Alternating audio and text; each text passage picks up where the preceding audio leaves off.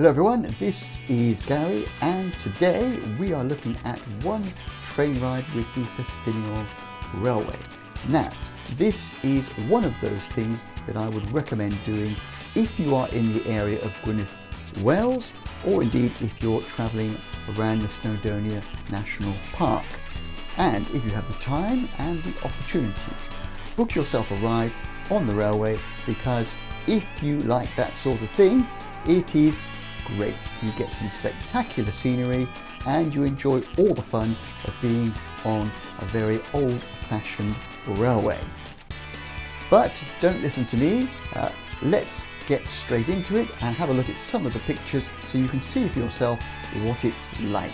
Okay, so off we go on that train ride.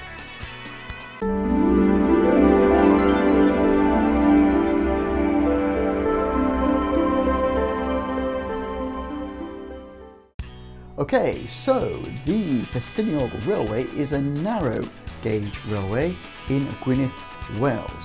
It is a tourist attraction um, and it's very popular um, for anyone who's uh, in the Snowdonia National Park or in the area of Gwynedd.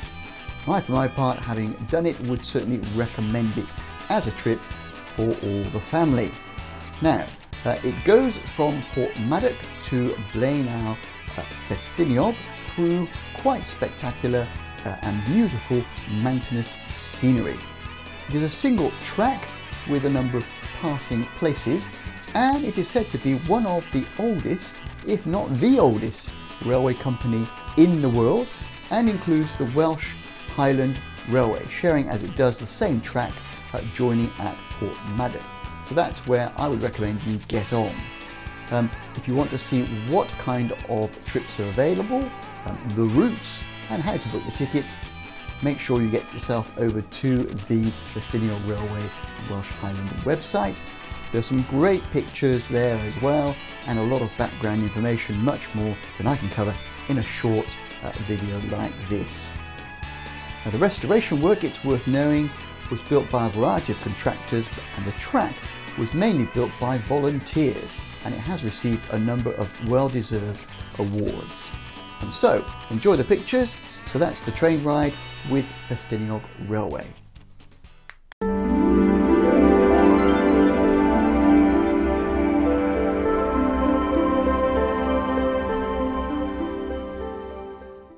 Okay, so that was a train ride with the Ffestiniog Railway in Gwynedd, uh, Wales, and I hope you enjoyed seeing the trip as much as I enjoyed actually taking it.